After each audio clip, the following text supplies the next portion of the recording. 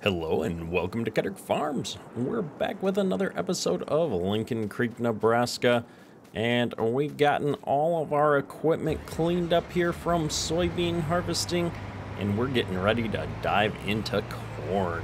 I'm so excited. So we uh, spent a little bit of time playing with our augers, trying to move things around. There's just no good way for us to use one of those bins as a wet bin and auger things right back into the corn dryer. Um, I moved things around every which way. We would have had to lay things out just a little bit different to get that to work. So I appreciate that suggestion in the last video, but uh, we're going to be running the augers a bit manually up there, I think. But today is all about corn harvest, and it's going to take a while for us to fill up the dryer anyway. So we're going to go ahead and get these combines sent out to field 50. Field 50 is this field up here nearish to the farm. It's a decent sized field, but not that big.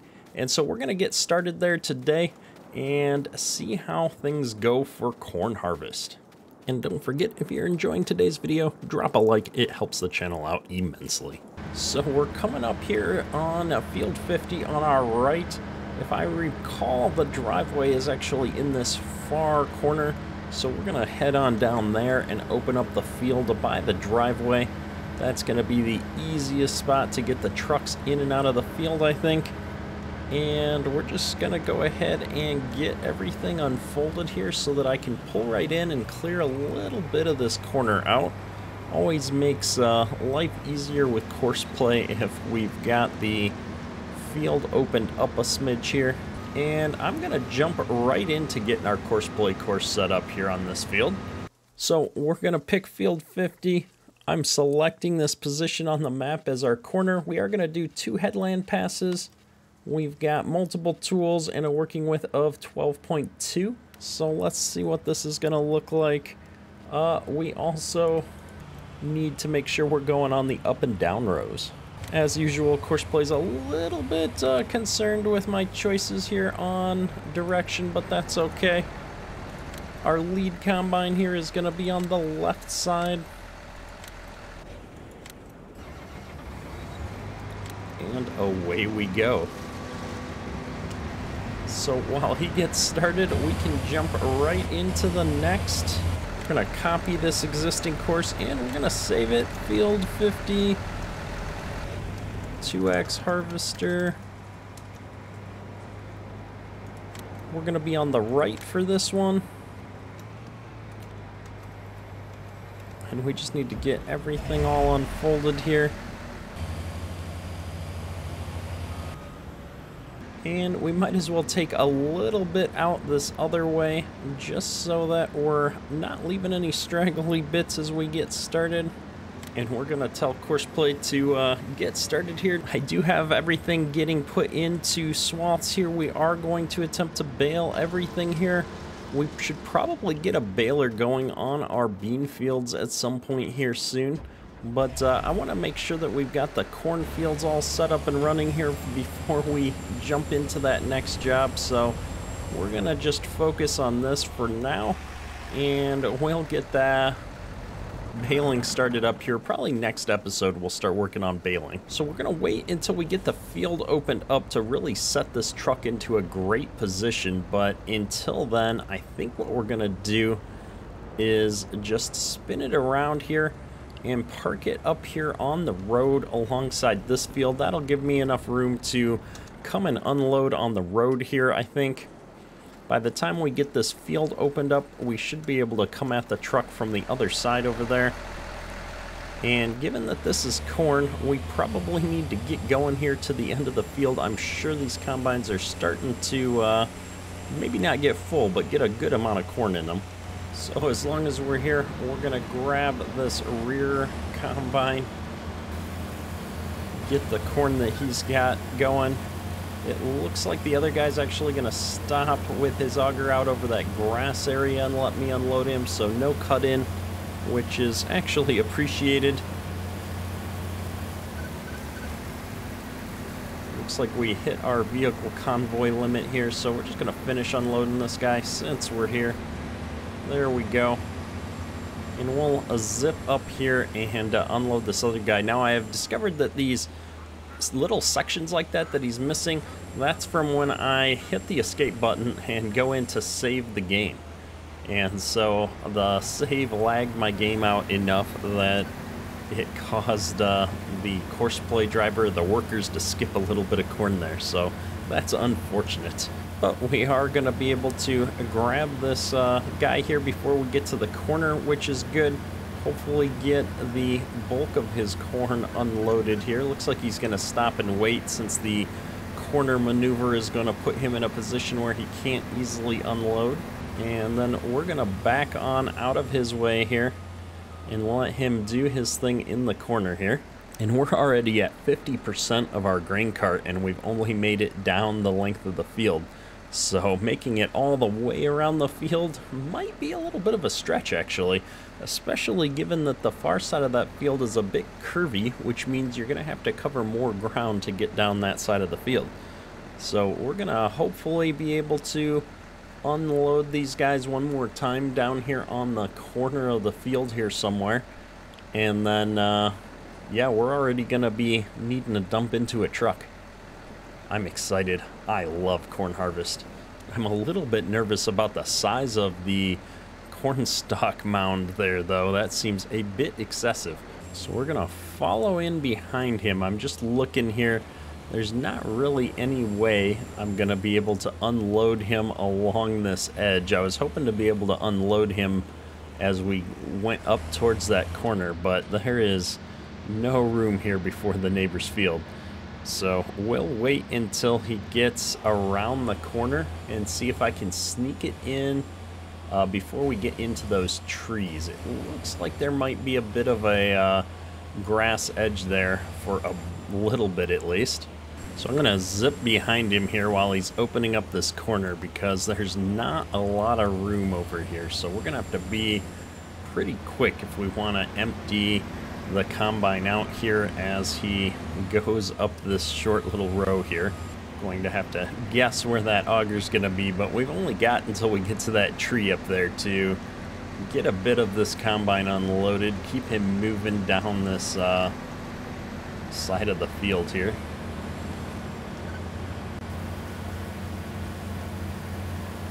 We're gonna take what we can get though, just because uh, otherwise we're gonna have to wait for multiple cut-ins here. Hopefully that gets him around that part of the field there though. And we'll just uh, get in this other track here and be ready to catch the secondary combine as he comes up here. It's always tricky trying to unload around a curve generally tried to avoid doing this too much when I was uh, actually farming. It's a great way to lose corn out the side of the wagon. But we're getting quite a bit here. The grain cart's uh, not full yet, but it's going to be full soon. And uh, now that we got that guy emptied out here, we're going to zip down here to the end of the field and just see how far that lead combines managed to get with what little bit we were able to empty out of him. It looks like he's still going here. He's got to be getting close to full though. Uh, maybe not. Maybe we emptied more than I anticipated. I'd really, really love for him to get to the corner here though. I think once we get to the corner, although I guess we've got a ton of these telephone poles again here. I'd really like it if you could get to the corner of this field and make the turn, although we've got a lot of these power poles here, so I'm not sure... Not sure if we're going to be able to unload him along the road here or not. I've done a great job of buying a lot of fields with power poles alongside the edge of the fields. Oh, here we go. Can I do it? You can do it. Start unloading before we hit the end. Yes. All right, we're going to stop and let him unload before he does his corner maneuver here. This is going to work out a lot better for us. than trying to monkey with uh, unloading him while we're navigating all these poles. Now, we're full, so I'm to speed up here and get out of his way and head right on down the road here to this truck and see what we can do to unload into it. Now this is 1400 bushels in the grain cart here, 1425. So I'm curious to see how much that puts into this truck. I know we, uh, I didn't really pay attention to how big these semi-trailers were. So hopping into the semi here, 1400 bushels is a little over 50%. So two full grain carts is going to fill up that semi completely, which is awesome. We've got our lead combine having uh, taken out that corner finally is heading down this way.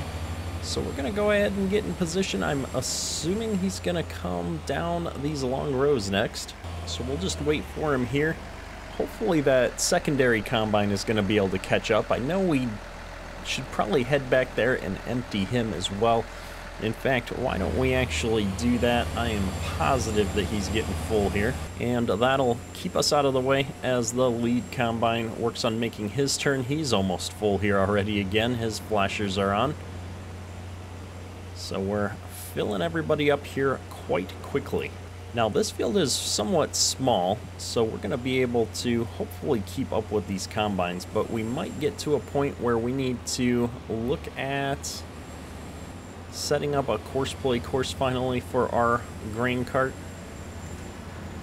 to help us to keep up with things while we're dealing with the trucks back up at the farm because with all these augers, that's the one thing that we usually don't have to deal with is dumping the trucks up at the farm. We usually let Courseplay or Auto Drive handle all of that for us, but given the nature of using augers, that's just a little bit more of a pain to do, and so we're going to be doing a lot of the handling up at the farm ourselves. And so if we're going to be up there doing that ourselves, then we probably need to set up the Courseplay driver to handle this grain cart here. So as soon as I get these two combines unloaded here, I think that's probably what we're going to do next, is set up the Courseplay course and just kind of see how the Courseplay driver handles it. Now, once we get the field fully opened up with our two headland passes off everywhere, I think Courseplay will be able to handle the pathfinding just a little bit better. And we're just pulling in mountains of corn, which is awesome. Our grain cart's are already almost half full here. And the nice thing about the trailers we're using is they're single hopper, so we won't have to monkey with any of the double hopper craziness with course play here. Now, we forgot to set up a land style mode to cut through the middle of this field with these combines. And so we are going to run into some problems where Courseplay is going to end up with the auger on the wrong side here for unloading. And corn has enough volume that that's actually going to be a problem for us. So that's one thing I didn't think about when we set these courses up.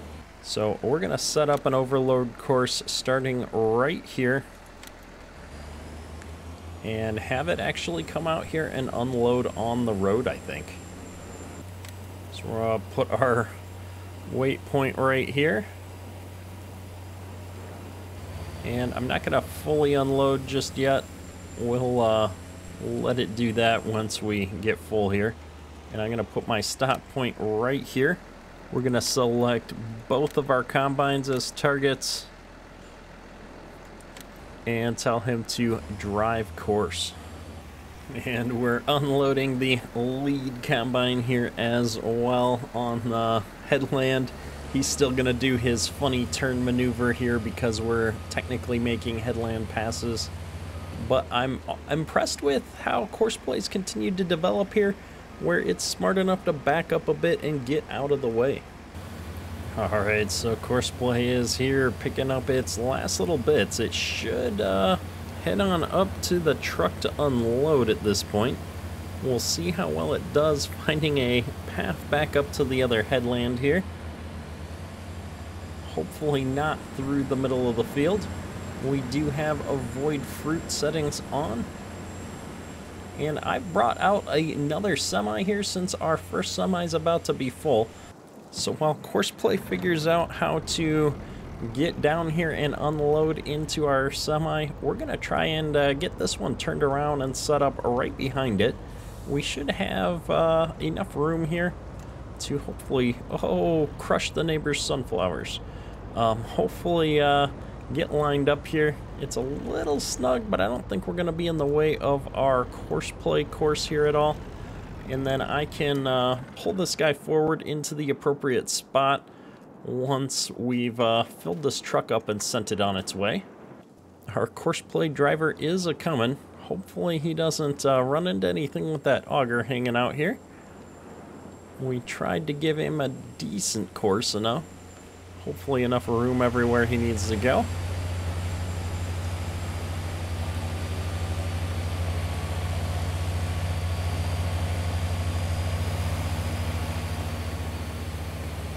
Looks good so far. We just hop in here with him. We can see that he is unloading. Should uh, fill this thing up. We did put a little bit in there, so we'll have some left in the grain cart. And he's probably going to go on his way here unless he's got more than the... I think I set it at 10%. We open up course play. He should drive on... Oh, if he's less than 5%. So as long as he's got more than 5% left, he should sit here and wait for me to move the trucks, which is actually perfect. So let's grab this truck. And we're just going to pull him up here and get him out of the way. Looks like we've got a bit of a texture issue there with our corn. That's alright. And we're just going to send this guy right back up to the farm here. We'll go up there and deal with him in a couple of minutes when we see the message. And then we'll pull this truck right up into this same spot. Should work out fine. The Courseplay driver should detect us and put his auger out, I think. Something like that should work out perfectly. So we'll leave this semi parked here. Looks like all the combines have gotten uh, filled up here in the meantime, but that's okay. We won't have to switch trucks every time like this. So hopefully Courseplay can get back out here in the field and figure out how to get over to this first combine without any struggles here. It's always a bit nerve-wracking with Courseplay the first time, trying to see if it's going to figure out how to do what it needs to do. New fields, new maps, new equipment. I'm not sure I've run Courseplay with this particular combination of things yet, but he seems to be figuring it out. He's figured out he's going to need to loop around to get lined up the right way as well. It's always uh, interesting with the articulated tractors and such. Um, they tend to have a little bit more of a struggle with pathfinding, I find, uh, than the normal style tractors. It's why I use a lot of regular style tractors or like with John Deere's, the RTs and things that aren't articulated. They tend to work out the best, but this is working out just fine. We're unloading this lead uh, combine. Everybody's moving, and we've got some space left in the truck, so I feel confident at this point that I can leave this operation for a few minutes and head back up to the farm and figure out how to get this corn into the bins. It looks like we're alternating between soybeans and corn textures in this semi for some reason. So here we've got the auger for loading up the dryer. The dryer's stopped running at this point because it has dried all of the corn that we'd put in there earlier in the day. We're still technically in the same day of seasons. We could probably have moved the clock forward one more day, but we're just going to keep running with it since uh, with the way we've got seasons set up right now, each day actually represents uh, a few weeks of time. So we're going to back this thing up as good as we can straight into this auger. Let's get our camera lined up a little bit better here. We can see what we're doing. Oh, that flashing texture is going to drive me nuts. I should have left the tarp closed, I suppose. Here, we're to get rid of that. Oh, there we go. So much better. So we're to back this right up to the auger and dump it in and you can see our grain dryer came on right away. We've got everything more or less lined up. It looks like our big auger could use to be shifted back just a smidge. All right, we used a little bit of super strength to tweak that. That's a lot better than it was. We'll run with that for now. And uh, yeah, we've got everything coming in here. Like I said in the other video, we have to clip our tires through the uh, hopper here just a little bit with the way things are set up. I should probably expand those dump triggers a little bit, but that's all right.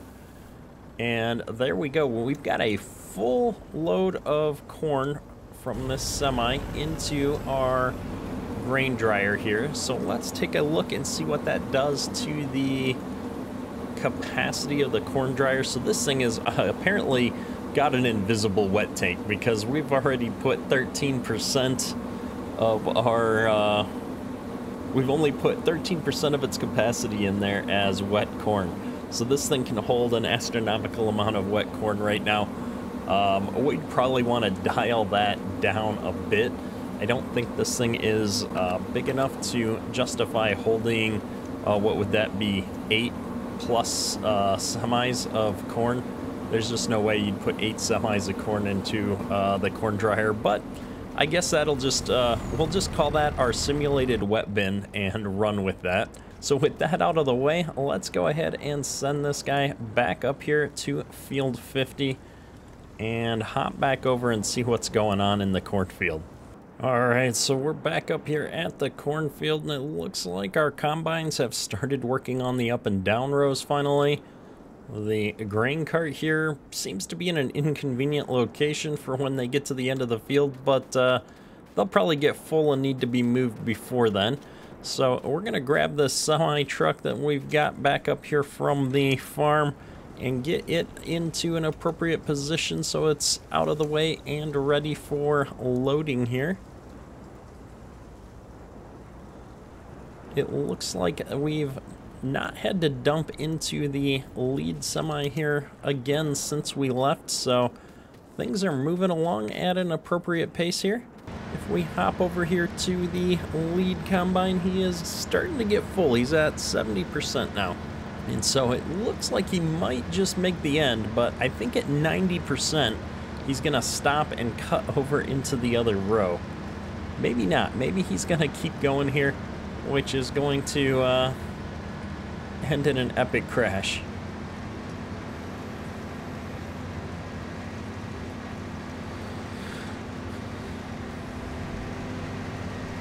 Come on, Courseplay, you know he's there. Oh, look at that. The driver figured it out. He didn't crash. Everybody got out of each other's way.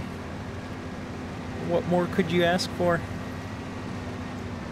That's right, folks. We may not have any bloopers this episode.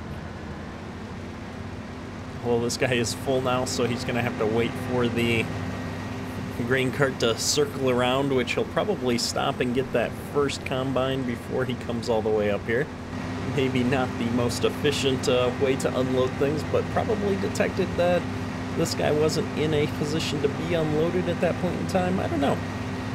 Either way, it's working out. We're getting stuff done. We're not crashing into each other. I like it. Let's head down here. He's probably actually going to be pretty close to full after unloading this combine, too. This other combine had to stop because we are in uh, vehicle convoy mode where we like to keep the two combines away from each other a little bit. So this guy's trying to figure out, I think, probably how to uh, swing around and pull back into that row. Looking good. I like it when a plan comes together. And then he should fill up after unloading this guy. In fact, he probably won't even finish unloading this combine uh, before he fills up here. So He's going to need to swing back around and go empty into the semi-trucks here.